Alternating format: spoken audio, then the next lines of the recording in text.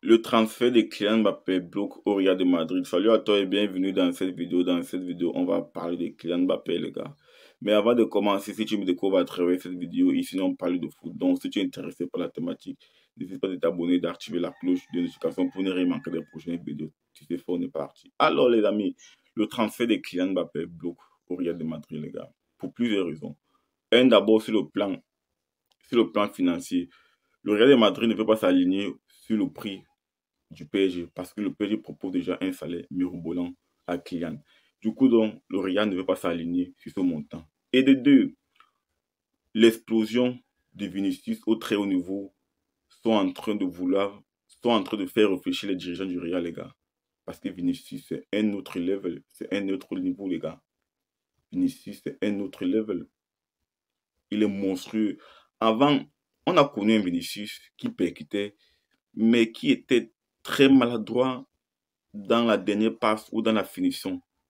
C'est un mec qui était très maladroit et il a vachement progressé, le mec. Vinicius a vachement progressé. C'est un mec qui marque déjà les buts. C'est un mec qui donne des passes décisives. Il est vraiment très bon. Très bon. Au point même qu'on parle déjà du ballon d'or, les gars. On parle déjà de Vinicius comme ballon d'or.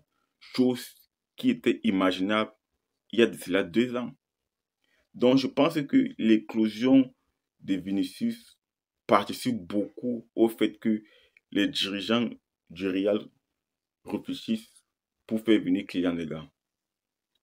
Après, Kylian est polyvalent il peut jouer sur, les deux côtés, il peut jouer à l'axe. Donc, euh, franchement, s'il vient au Real, euh, je pense qu'il ne sera pas sur le banc.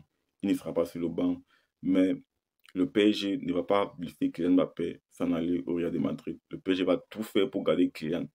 Parce qu'au PSG, les gars, c'est le PSG qui décide si tu pars ou pas.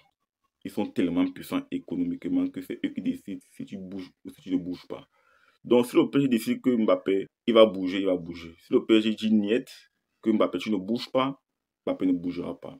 Donc voilà un peu mon ressenti par rapport à cela. Donne-moi le tien en commentaire et si ce n'est pas encore fait, n'hésite pas à t'abonner, d'activer la cloche de notification pour ne rien manquer des prochaines vidéos qui vont arriver sur la chaîne.